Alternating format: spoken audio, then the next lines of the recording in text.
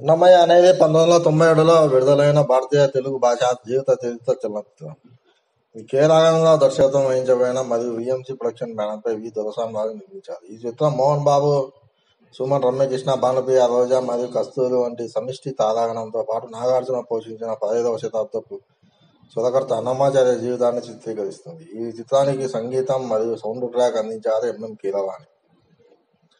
విడుదలైన తర్వాత చిత్రం సానుకూల సమీక్షలను అందుకుంది. మరియు ఎనిమిది నంది అవార్డులు మూడు ఫిల్మ్ఫేర్ అవార్డులు మరియు రెండు జాతీయ చలనచిత్ర అవార్డులు తెచ్చుకుంది ఈ చిత్రం పంతొమ్మిది వందల తొమ్మిది ఇంటర్నేషనల్ ఫిల్మ్ ఫెస్టివల్ ఆఫ్ ఇండియాలో ప్రధాన శ్రవంతి విభాగంలో ప్రదర్శించబడింది. శ్రీ తాళ్ళబాగా అన్నమాచార్య యొక్క అసలు జీవిత చరిత్రలో కొన్ని మార్పులు వచ్చినప్పటికీ ఈ మార్పులు సినిమా వాణిజ్యపరంగా పెద్ద హిట్ కాకపోవడానికి దోహదపడ్డాయని అర్థం చేసుకోవచ్చు. బాక్స్ ఆఫీస్ ఈ సినిమా నలభై రెండు సెంటర్లలో వంద రోజులు దాంతో ఇట్టాక్ తెచ్చుకుంది. ఈ ఈ సినిమా రెండు సెంటర్లలో నూట డెబ్బై ఆరు రోజులు ఆదరణ సాధించింది. చెన్నైలో కూడా ఈ సినిమా పెద్ద హిట్ అయింది. ఈ సినిమా ఆల్బమ్ ఇప్పటి వరకు అత్యధికంగా అమ్మడమైన తెలుగు మ్యూజిక్ ఆల్బమ్. తమిళంలో డబ్ చేసి అన్నమాచార్య పెడితే విడుదల చేశారు. ఇది మలయాళంలో అన్నమయ్య పే- అన్నమాచార్య పెడితే డబ్ చేశారు. దీని హిందీలో తిరుపతి శ్రీ బాలాజీ పెడితే డబ్ చేశారు.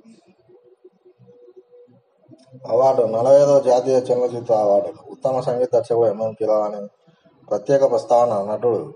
నాగార్జున ఫిల్మ్ఫేర్ అవార్డు సౌత్ ఉత్తమ చిత్రం తెలుగు వి. దురసామరాజు ఉత్తమ దర్శకుడు కె. రాఘవేంద్ర ఉత్తమ నటుడు నాగార్జున నంది అవార్డులు పంతొమ్మిది వందల తొంభై ఏడు.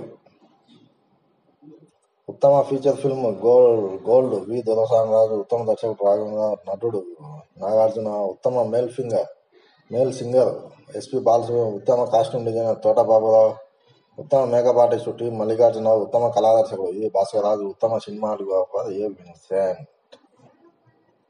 దయచేసి మీరు ఈ ఛానల్ సబ్స్క్రైబ్ చేసుకోండి. సబ్స్క్రైబ్ చేసుకోకపోతే సబ్స్క్రైబ్ చేసుకునేటోళ్ళు బెల్ ఐకాన్ నొక్కడం మర్చిపోవద్దు.